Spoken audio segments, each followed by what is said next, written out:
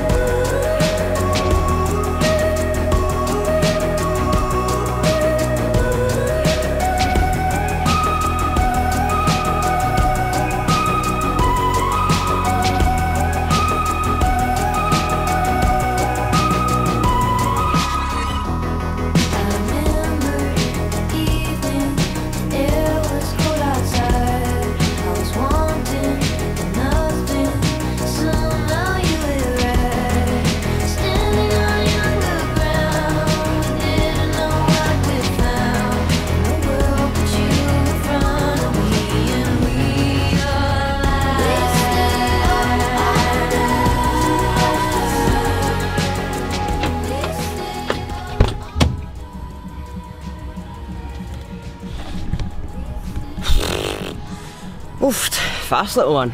So yeah, I'll let you know all the stats later on uh, and my power meter on, so yeah, I can talk you through all the stats. But we averaged 36k an hour, so pretty fast for 120k.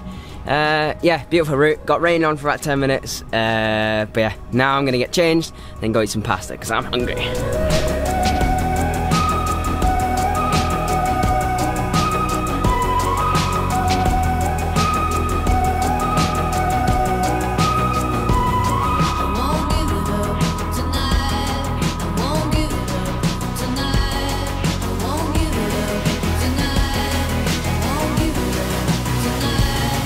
Right, that's us all finished up. Got some pasta down me. Now a quick drive home and I'll talk you through all the stats from today.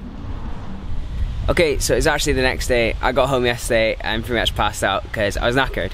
But here are the stats. So my official time was about 3.19, 3 hours 19 minutes. Uh, so it was 120k. Uh, we averaged 36.2 kilometers an hour. My max speed was 73 kilometers an hour. Uh, my average power was 209 watts. Uh, my max power was 995 watts. My normalized power was 234 watts. Uh, a TSS of 212. My max 5 minute power was 310 watts. And my max 20 minute power was 260 watts. Um, it was uh, 1,300 meters of climbing. And yeah, my max heart rate was 193, which is probably one of those hills that we went quite hard on. Uh, so no, perfect day out. Um, yeah, big day for me. it's kind of ideal for the kind of timing that I'm I'm at at the moment with the long rides with some hard efforts. But no, amazingly organised event. Um, I'm bit sad I'm not doing the autumn edition, but if you are interested, uh, I'll leave the links below because the autumn edition is going to be just as good, I'm sure. Um, so yeah, no, perfect day. Thanks to Gary and Laura for organising, and yeah. Uh, thanks for watching. Remember to share this if you've been in it or if you've you see any of your mates. Make sure you share it with them, and yeah, get the word out. So thanks for watching. I'll see you next time.